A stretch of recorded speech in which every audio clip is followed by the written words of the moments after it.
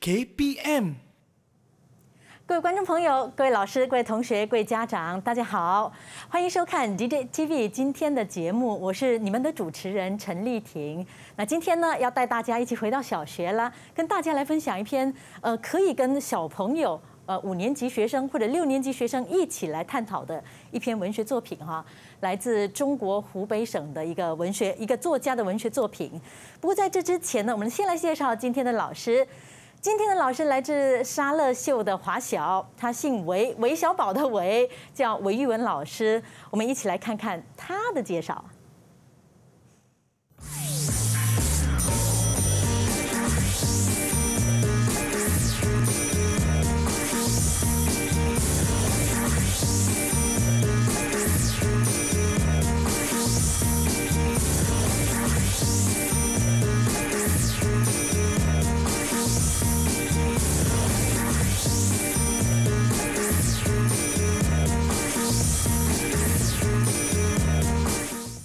是的，看到老师的照片啊，十分的朝气哈。可惜这个口罩遮住了脸哈。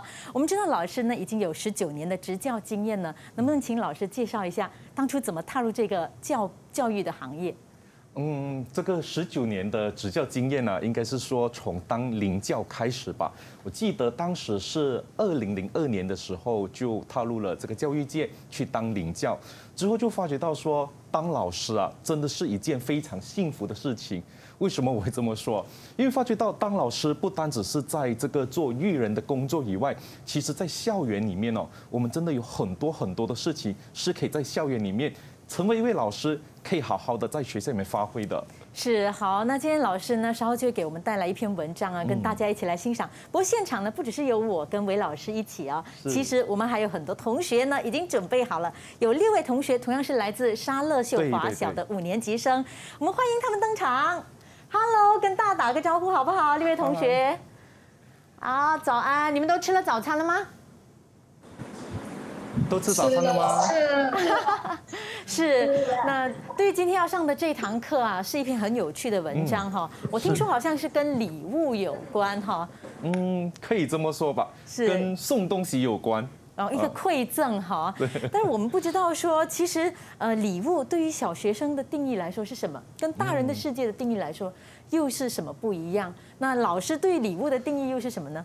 嗯，对于大人来说，可能你会觉得说这个礼物可能是它是比较有意义性的，嗯嗯，有价值性的，或者是说你会多想一点，到底我这份礼物送出去的用意是什么？为什么要把这个东西给送给他？大人常常会想多一点嘛。是，那不知道同学们会怎么想？好，我们一个一个学生来点名好了。好，好，先看一看第一位同学，来，老师点名吧。好，第一位谁要来先说啊？来，有没有同学要举手的？第一位想要说说看的。好，泽毅，泽毅，礼物对你来说是什么样的东西才可以界定为送人的礼物呢？嗯，比较好的东西。比较好的，对自己好的还是对别人好的？肯定是对别人好的。哦，对方要喜欢的哈。嗯，是。来，在下一位同学呢？别人不喜欢就惨。哦，就是就没意思了哈，送给别人没用的礼物就不好了哈。好，下一位同学呢？下一位要谁来说？哎，我看到这个红景，对不对？来，红景来说一下。呃，我会送那种手工片来，就是自己做，因为它比较有意义，有你自己那个心意放进去，然后送给别人。哇，很有心思哎。好，我听到他好像很想收这种礼物，亲手制作的礼物感觉就不一样哦。对，特别有纪念价值。再来郑坤吧，好吗？郑坤。嗯，是。如果送礼物，送食物那些给他们。哦，送食物哈？为什么？希望他们吃得健康哦。哇，这很务实，很务实的礼物。还有敏锐吧，敏锐。敏锐，会送什么样的礼物。我会送他们最要的东西。哦，就是对方最心里最渴望的东西，就是一个对的礼物哈。哇，这个答案不错哦，送对方想要的东西哦。是，还有丽琴还没回答呢。丽琴啊，丽琴，你来试试看，说说看。我会送一些书本。哦，为什么？因为这样子他们可以增加更多知识。嗯，哦，这个想法也很特别哦，可以当老师以后。还有哪一位同学还没回答？好像是右轩，还有一位对不对？是右轩吗？嗯。我会送日常用品给他们。日常用品哦。日常用品为什么？因为有些人家买不到日常用品。啊，就是可以帮他们解决生活上的一些需求哈，日常用品很实际，包他们一定用得到哈，所以可见其实礼物在每个人心目中定义不一样。那很多同学都提出了一点，那就是礼物要送的对，就是是对方所需要的。而接下来这篇文章的礼物好像又有一点点不一样，是吗？老师，这篇文章是什么呀？嗯，可能我们要先卖个关子吧，哈。但是这个篇章呢，待会要跟大家讨论的这个篇章呢，它也是一份礼物。但这份礼物呢，它是出于一个小小的朋友哦，就是大概是那种还未入小学的小朋友，四五岁的小朋友，他要送出他的一份礼物，对他来说要送出这个礼物很不简单。到底是什么礼物？我觉得待会可以跟大家来再做分享的部分。是是小朋友要送小朋友的礼物哈，而且还没入学的礼物，这个我也很期待哈。是是。不过对于今天这堂小学的课文呐，那其他的没有在现场参与的同学又是怎么看呢？我们一起来听听。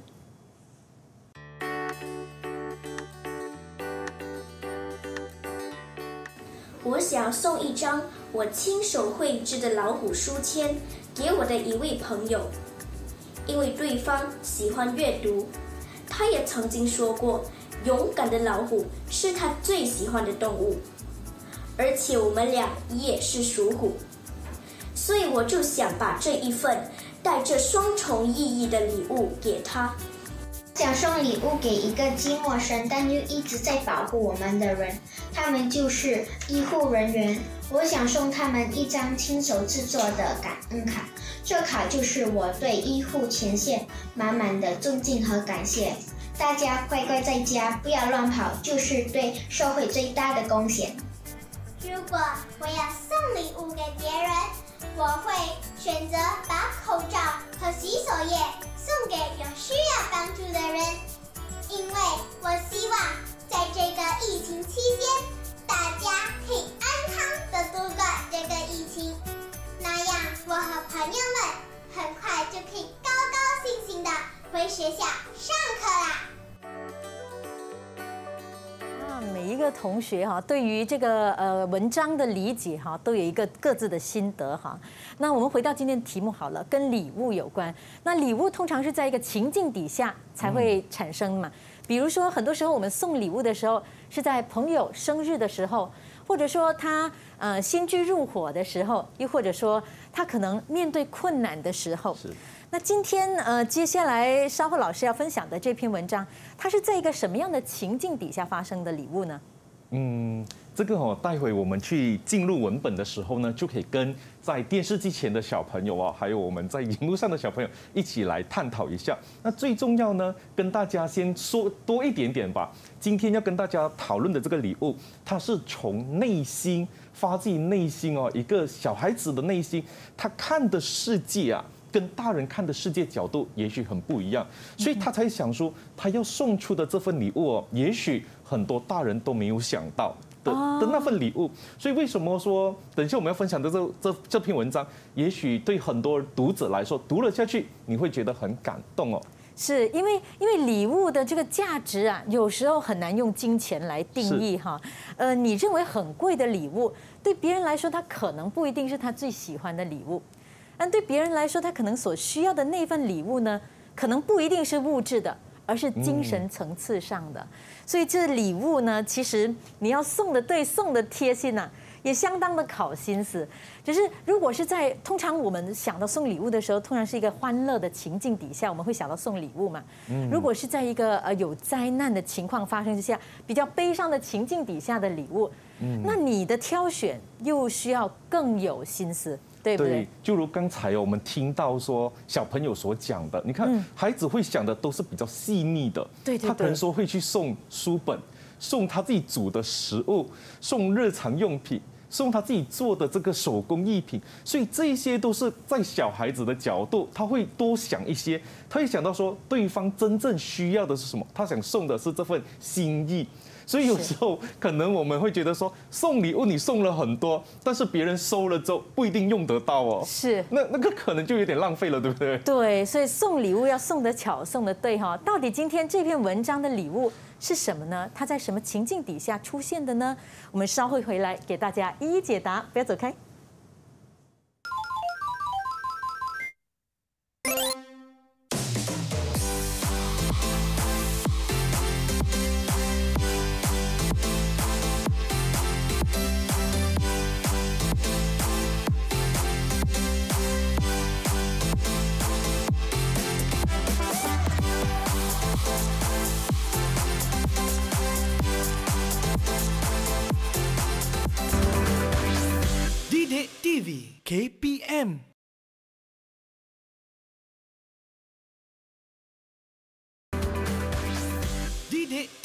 KPM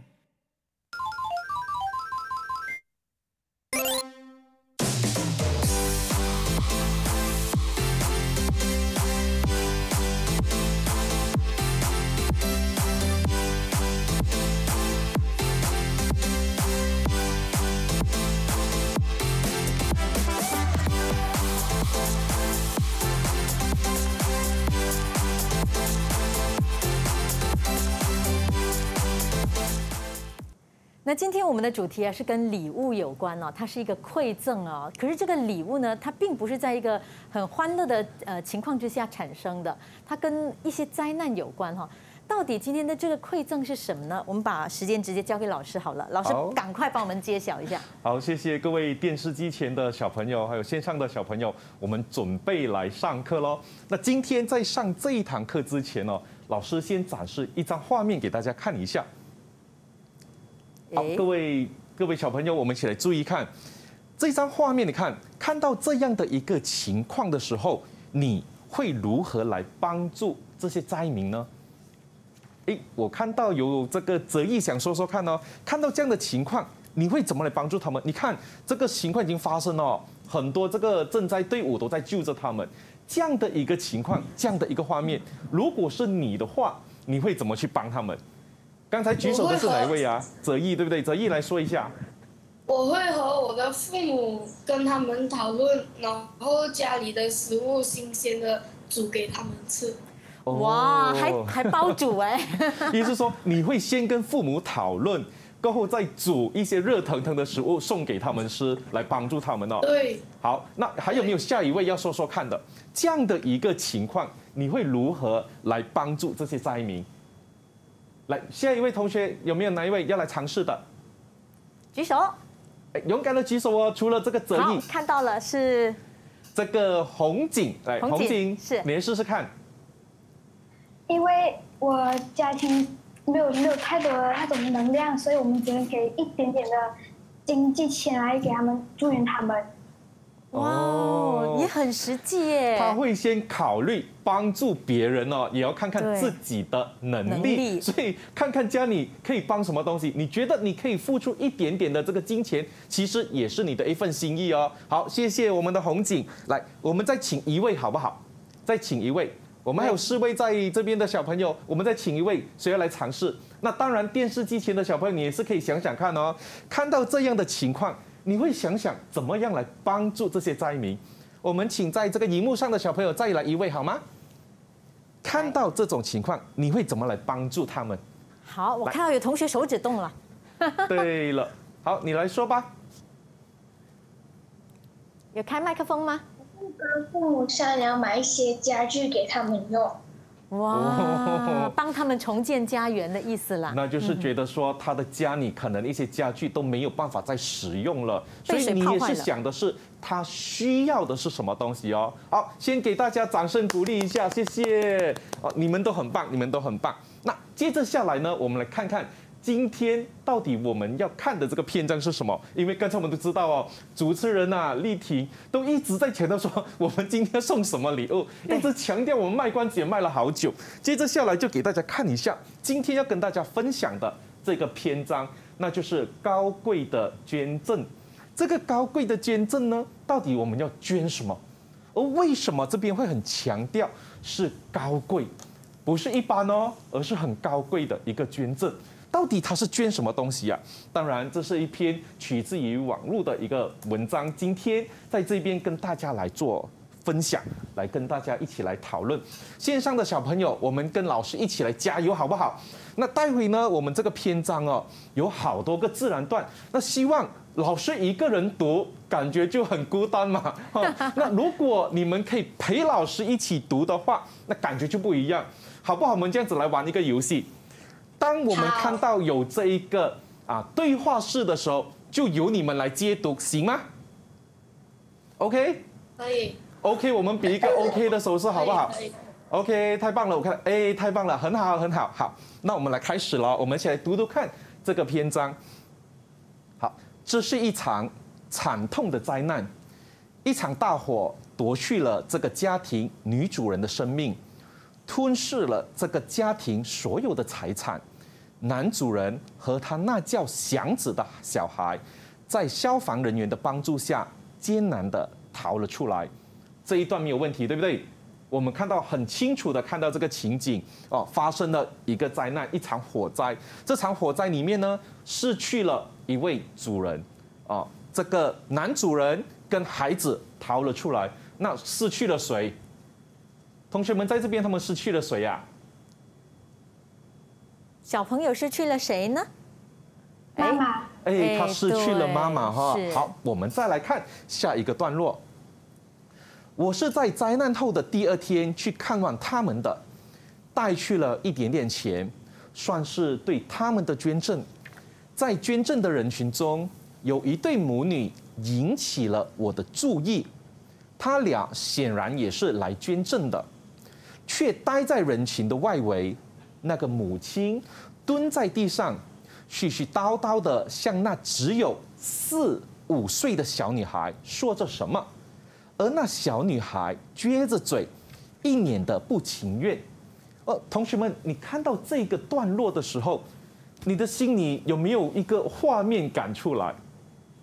大家都要跑去捐钱哦，但是这个作者去到现场的时候，他发现到什么东西？为什么那么奇怪哦？这个母女引起了很多人的注意力，过后他们看起来也是来做捐赠的，对不对？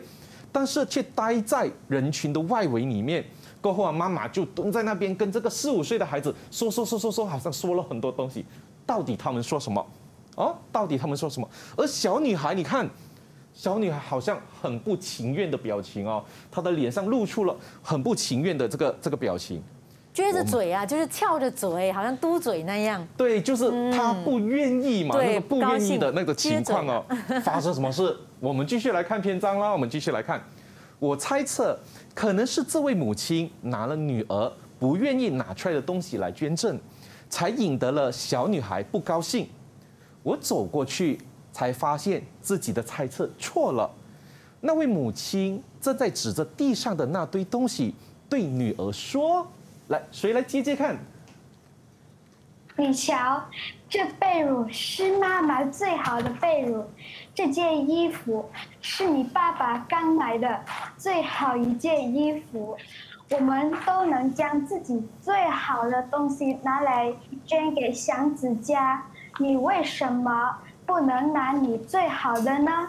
你有那么多玩具，为什么偏偏就拿这个破旧的玩具熊呢？哎，是，你读看非常好。他们在这个情况里面哦，你把这段读得很好哦。那个妈妈就看哦，妈妈就跟那个女儿说嘛，你看这个被褥是最好的，这个衣服也是刚买的，都是好的东西哦。衣服哦，最好的一件衣服，我们都能将自己最好的东西拿出来捐给祥子这一个家人。但是这个小女孩啊，为什么她拿出来的那个玩具？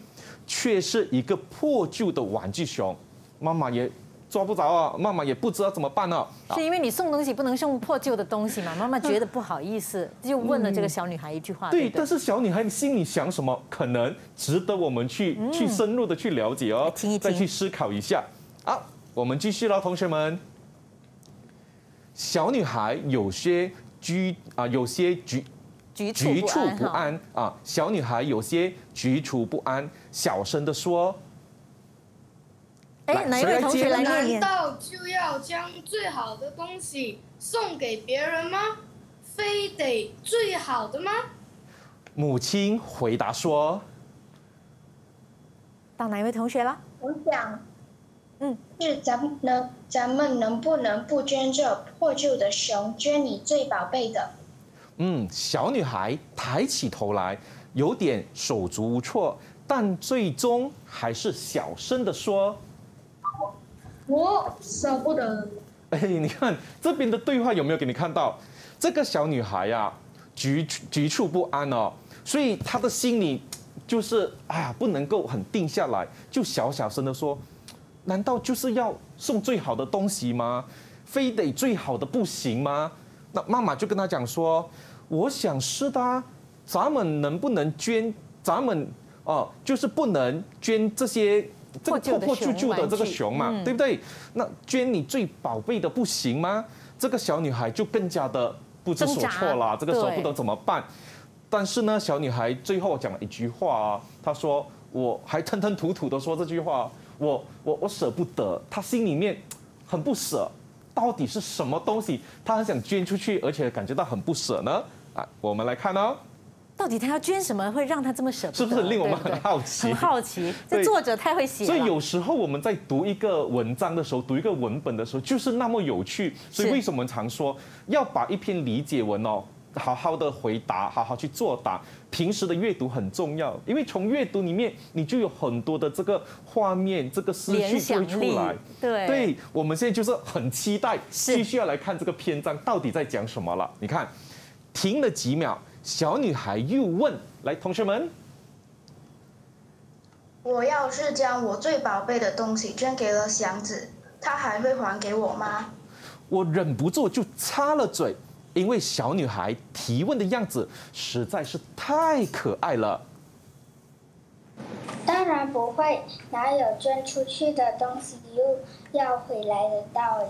小女孩有些不死心，抬头看了看她的妈妈，她的妈妈点了点头，算是肯定了我的回答。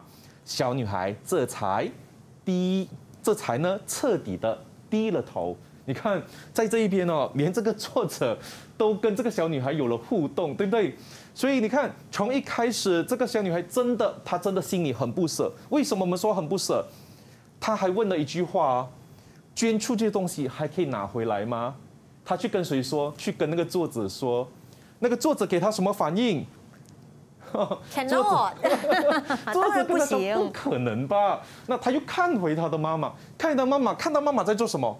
妈妈点了点头，认同了这个作者所说的，对不对？这个作者所讲的话，这个小女孩说：“啊，你们大人都这么说，OK，那我接受吧。这个四五岁的小朋友就接受了这样的一个想法啊。好，我们再继续来看哦。我们一道走过去，我将准备好的一点点钱交到祥子父亲的手里，说了一两句安慰的话。小女孩的母亲送上了带来的被褥和衣服。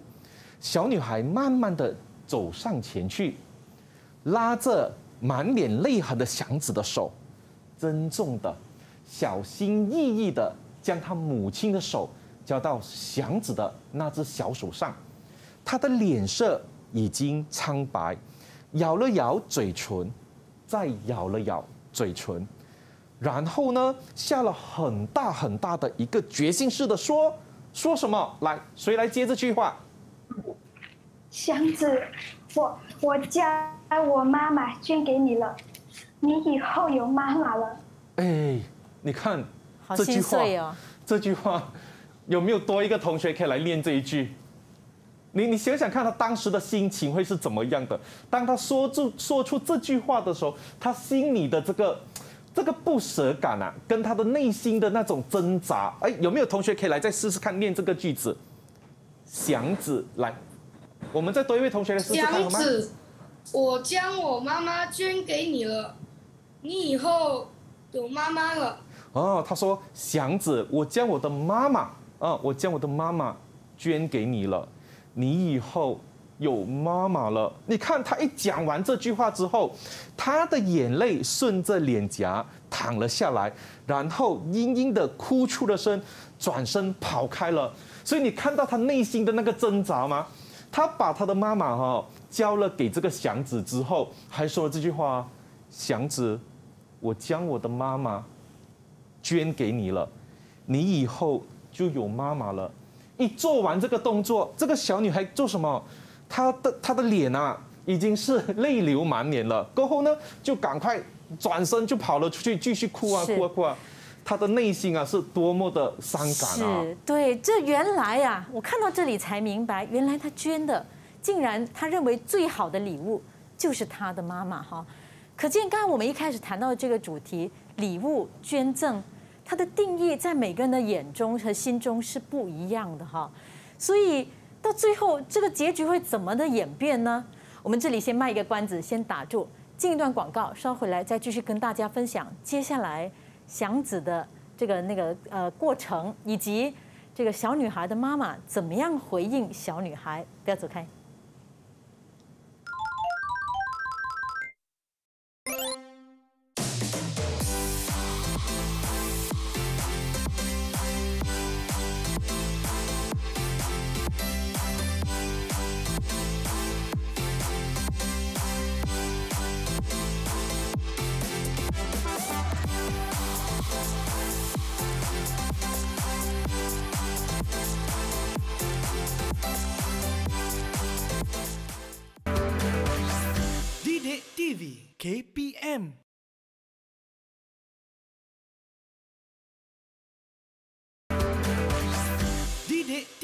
KPM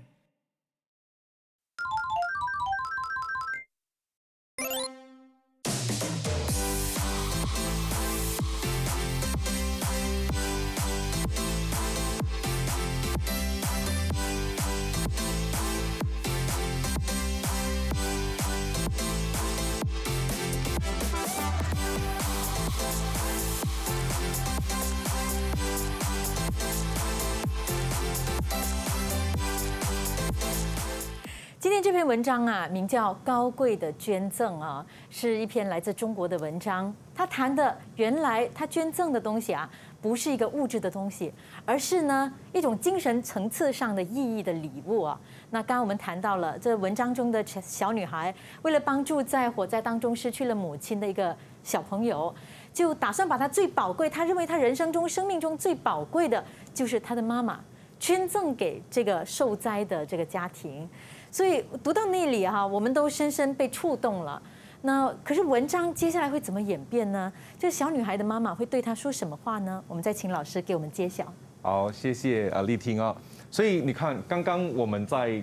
看这个文章的时候，不是一开始时候都问大家吗？如果是你捐东西给别人的话，你会捐什么？当然，我相信说在电视机前的每一位，你们刚才头脑也有很多的一个画面。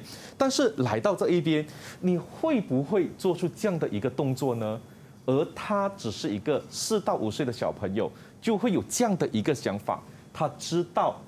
对方很需要的是一个妈妈的关心，妈妈的爱。就如刚才我们在这个荧幕上的小朋友也说了，捐东西给人家的时候，是不是可以想一下对方需要的是什么？没想到这个孩子那么棒。我们继续来看这个篇章里面还给带给我们什么东西哦。好，我们继续来看这个段落。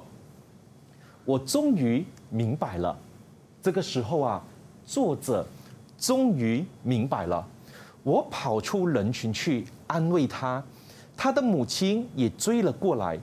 小女孩抬起头来，满是泪花的双眼，定定的看着她的母亲，然后气切的说：“妈妈，不，祥子的妈妈。”哎，这一句应该你们读对不对？哎呀，老师忘了，老师忘了我们的刚才的一个默契。来，同学们，你们来接这句话好不好？来，你们来接。谁要来尝试接？举个手，嗯，来，我再来哦。好，我再我再来重复一下。小女孩抬起头来，满是泪花的双眼，定定的看着她的母亲，然后怯怯的说：“妈妈，不，祥子的妈妈。”我不是想将你要回来，可是我还是想亲你一下。你别告诉祥子，偷偷呃不偷偷偷的，让我亲一下，好吗？哇！你看后面这句话有没有很感动？电视机前的小朋友，你们自己来念一下这句话哦。你看他说：“妈妈，不不，祥子的妈妈，我不是想要你回来，可是我还是想要亲你一下。你别告诉祥子，偷偷的让我亲一下好吗？”所以有没有看到这一个句子里面呐、这个句子里面真的深深的让我们看到了这个小女孩她舍得是不舍得？他很不舍得，而且他还记得他的妈妈，还有这个作者本身讲过的话，就是你礼物送出去了，你可不能要回来啊！可是我我很卑微，我只想偷偷的亲你一下，我本来的妈妈。我虽然把你交给了祥子，是可是我还是这么的爱你，我可以偷偷亲你一下，你别告诉祥子好不好啊？对，你看我们今天的主持人丽婷哦，真的是很棒，她完全就可以理解到哦，这个文章的上下文结合了。所以电视机前的小朋友，你们常常在读这个理解文的时候，在读篇章的时候，是不是也是有做到这个部分？段落跟段落之间一定有它的关系的，句子跟句子之间一定会有带出它的这个它的含义。为什么他这么写？你看那个那个故事情节哦，越说下去的时候，我们就看到越多的感动点。而且哦，如果你记得上面发生什么事的话，接下来就很清楚的告诉你，他会讲这句话。就如刚刚我们听到主持人所讲的是什么？他记得作者讲过，东西送出去是不可以拿回来的哦。妈妈有没有认同啊？上面我们说妈妈有没有认同？有，妈妈做了什么动作？妈妈点了点头。这个点了点头的动作，也就是告诉了我们说，是的，送了东西给别人是不是可以拿回。所以这一句话我们可以看到哦，这个那个小小女孩啊，她会讲这句话的时候。她还说：“不是，你不是我的妈妈了，你是祥子的妈妈，因为我把你送出去了。但是我很不舍得你，你是不是可以给我亲一下？你不可以告诉祥子哦，我偷偷的亲你一下。这个画面真的让我们看到很感动啊，非常感动的一个画面。好，我们再来看，这个时候妈妈做什么事情啊？希望大家可以跟老师一起读。啊，他的母亲一把抱住了他。”疯狂的吻他，我看到这位母亲的眼里噙满了眼泪，满脸都是幸福而又骄傲的神情，我的眼睛也潮湿了。为了谁？为了这小女孩，更为她的母亲。你看，作者看到这一幕的时候，作者有没有感动？有，作者很感动哦，眼睛都是眼泪满满了。我 我看到你听听这个故事，听起来也很感动，对不对？当我们真的去读一篇文章的时候，一定会有那个身同感受，因为作者啊，就是带入我们进入这个文本去了解发生了什么事情。你看。妈妈听到小女孩这样的一句话：“我亲你一下，你不要告诉祥子哦。”所以妈妈就赶快很激动的就抱着她，抱着自己的女儿来吻她了。哦，这个就是妈妈对孩子的一个爱，母女之间的爱。那我我看到这一幕的时候啊，哈，他看到这一幕，看到妈妈也是那个泪水啊，都在他的这个眼眶里面啊，过后满脸都是很幸福又骄傲的神情。同学们。在这个荧幕上的同学们，为什么哈都是很幸福跟骄傲？你可以想到吗？如果你四五岁的孩子会做出这个举动的话，对一个大人一个妈妈来说，你会不会感到很幸福？你有这样的一个小朋友，他那么的爱你哈，你会不会感到很骄傲？你有这样的一个孩子，嗯。所以有时候我们说母爱的伟大，是跟你很幸福有这个宝宝来跟你一起。哦，来成为你的家人，这也是个幸福感哦。是，所以你看最后作者什么事情呢？作者的眼睛也潮湿了，哦，作者也掉下了这个感动的泪水。好，接着接着最后一个自然段呢，我们来看最后一个自然段。好，同学们注意听哦。那在这个荧幕上的小朋友，我们也注意来看。好，可以吗？好，这是我迄今为止看到最为。高贵的捐赠，他让所有的大人汗颜，面对别人的灾难，我们奉上的只是微薄的关爱和同情，而这小女孩呢，奉上的是她的整个世界。这也是我看到最为高贵的母亲，她在她女儿那小小的纯洁心里种上了爱的种子，开出了高贵的花。所以，同学们，我们读到这一边，我们读过了这篇理解文，所以不晓得在最后这个文章的结尾这一段里面，你有没有看到？你有没有深深的体会到？体会到什么东西？这一个捐赠是多么的高贵，因为他让所有的大人都汗颜，大人都没有想到哦。我不晓得在电视机前的你会不会想到会把妈妈捐出去？主持人，你会想到吗？当然不会啊，因为我们在大人的世界里，我们有太多考量，对不对？我们又要务实，呃，又要可能要考虑到经济，考虑到自己的能力，我们从来没有想过，原来有时候送的关爱啊，更加的无价，对不对？是，但是这个四到五岁的小小孩哦，他竟然哦会把这个小女孩奉上的是什么？他的全世界？为什么这么说？对一个小朋友来说，他身边最接近的是谁？他的妈妈。他的妈妈。对。所有他看到的，他要找的，他要求助的，他不会的，一定是去找他的妈妈。妈妈是他的整个世界，他最需要的人物。但是他看到对方因为失去了妈妈，他觉得对方很需要一个母爱去关心他，去爱护他，他才想到说把他的妈妈给送了出去。哎，最后这个句子我觉得非常的棒。作者讲什么？这也是我看到最为高贵的母亲。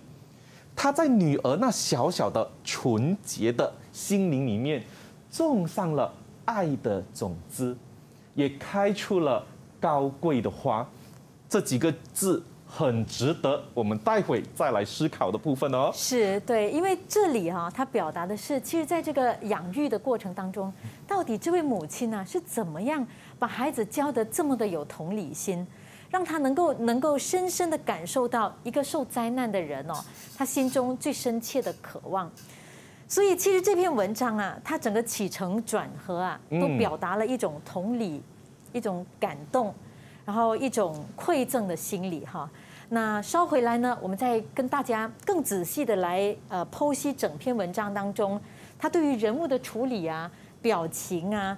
情感的传达啊到底是怎么通过文字来展现的？所以不要走开，稍回来我们继续来聊。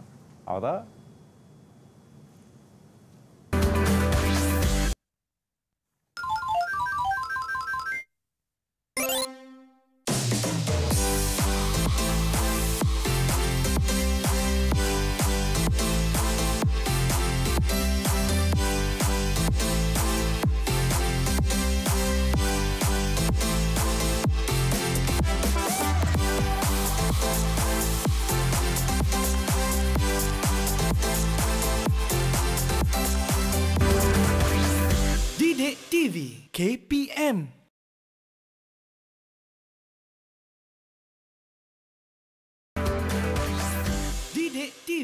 KPM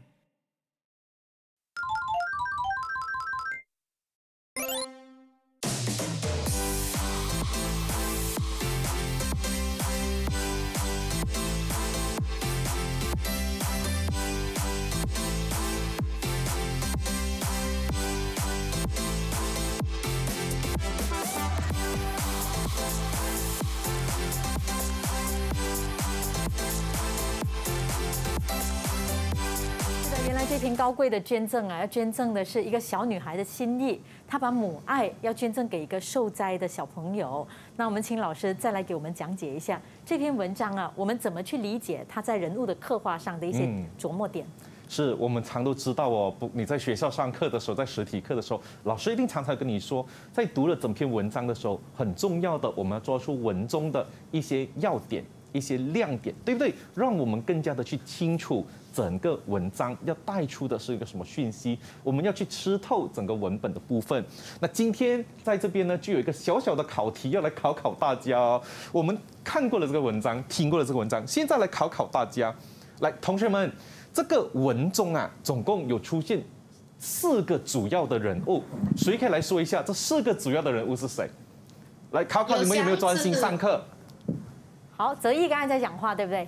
是谁？来，你你你这四个人有谁？祥子对不对？有祥子，还有呢？妈妈，有祥子，有妈妈，还有作者，作者，还有还有那个贫穷的小孩，贫穷小女的孩贫穷的小女孩，就是妈妈跟那个小女孩。有没有其他人有其他的答案？有其他的想法？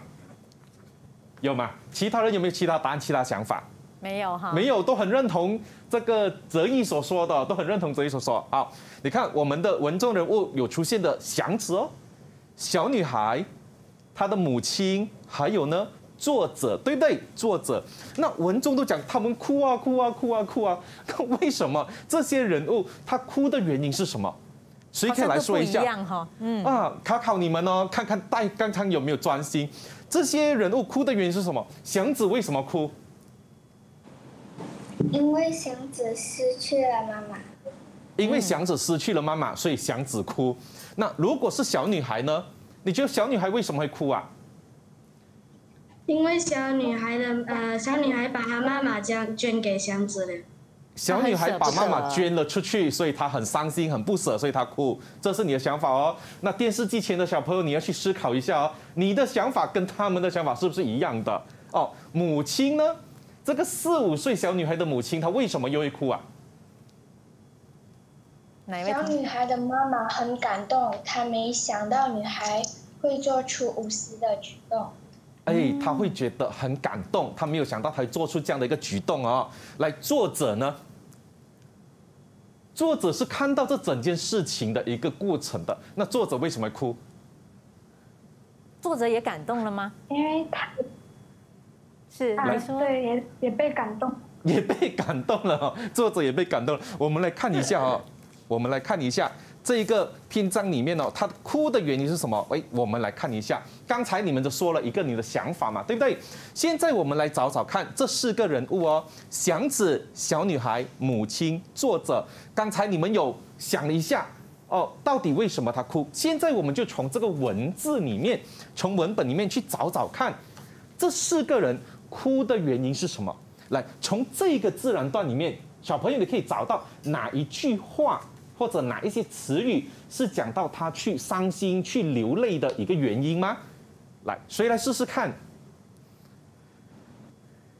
在这个自然段里面找找看，有吗？好，先看看谁哭了。祥子他在哪里哭呢？对，你看哦，在这一边有没有小女孩慢慢的走上前去，拉过满脸泪痕的祥子？有没有？这句话其实在讲什么？同学们，满脸泪痕的祥子这边是祥子为什么会满脸泪痕？因为房子没了，妈妈也没了。房子没了，妈妈也没了，对不对？嗯还有呢，在这边还有一句话哦，这边这句话说，他的眼泪顺着他的脸颊淌了下来，这个是谁在哭啊？这个是小女孩吧？对吧，同学们？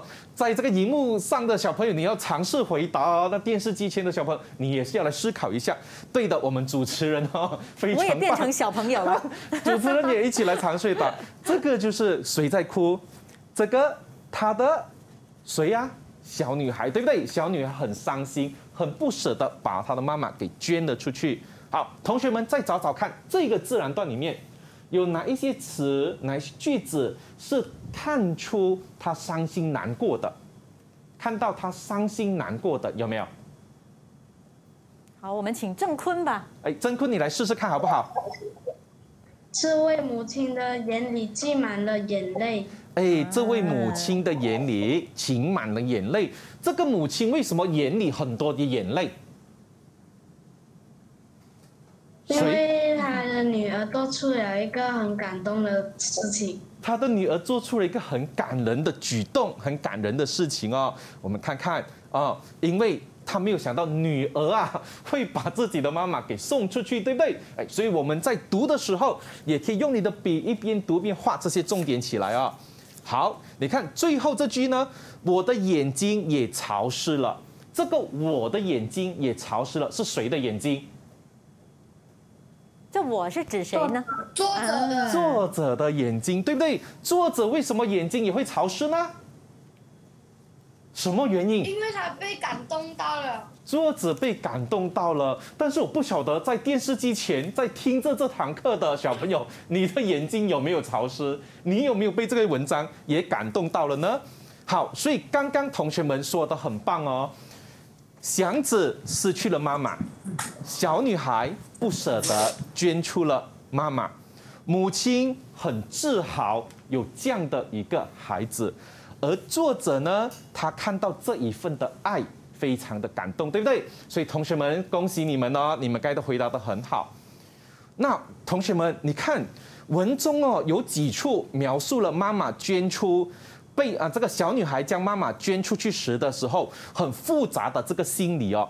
我们从这边也可以看到，对不对？第一，小女孩很不情愿，对。还有呢，我们来看，对不对？这个怎么念？局啊，局促不安，他又措手无措，不懂怎么办。过后很不舍，很不舍。最后呢，不死心，但是他必须要同意他们的说法。跟着我们看到的是什么？他还是小心翼翼、郑重的把妈妈给交了出去，对不对？捐了出去，哦，捐了出去。所以你看到这个复杂的情况里面，其实它是体现出什么东西呀？这一份的爱，这一份的爱哈。所以最后呢，今天这个课的最后，老师还要考考大家哦。这个段落里面呢，它出现了三个高贵，哪三个呢？第一个。高贵的捐赠，高贵的母亲，还有高贵的花，这三个高贵为什么那么重要？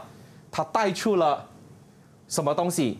童真的爱，它带出了妈妈的身教。它更带出了我们心里那一份的善良跟慈悲，是，所以就契合整篇文章的主题，叫做高贵的捐赠哈。这可能是很多大人世界也无法想象到，原来在他的一个捐赠的过程中，是充满了这个浓厚的爱，而这个浓厚的爱呢，来自小女孩心中最赤子之心的一个童真，还有他母亲言传身教给他生活中的一个学习。所以，呃，最后请老师，呃，简短的跟大家解释一下，这个文章的选择主要是让小孩体会到什么呢？是的，所以最后我很想问一下小朋友，你可以从这个文章里面学到什么东西？所以我们不管在读理解文还是做阅读的时候，常常要想一下，读不同的篇章有不同的体会，不同的领域当中的教育意义也是我们学习最多的。所以最后呢，想问一下大家哈，如果是你。你觉得心中最好的是什么？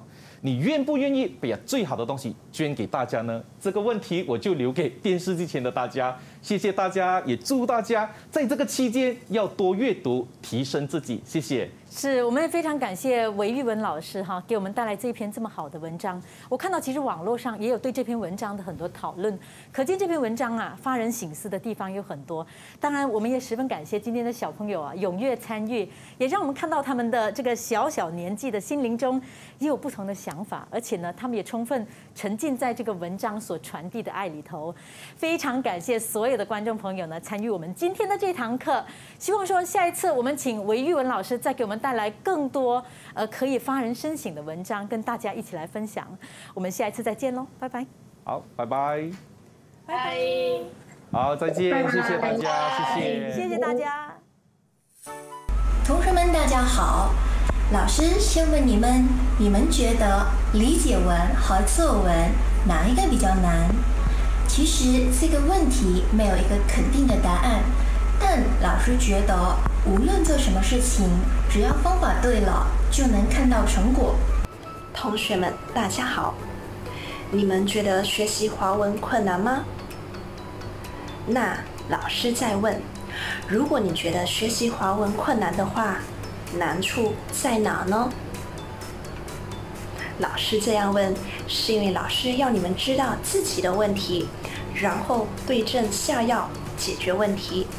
自然学习就是一件容易且愉快的事了。一般上理解文都有主题，所以弄清主题可以帮助你们理解文本内容。再来，同学们也要弄清故事里的人物，还有其他的要素，比如动作描写，还有心理状态等等。当然，最重要的是看清楚题目才下笔回答。有些同学呢，在考试时作答不完整、不全面，所以分数就白白没了。因此啊，考试不只是考你们的理解程度，还考你们是否细心。只要同学们专心、细心还有努力，那么学习华文一点都不难。祝同学们学习愉快，学业进步。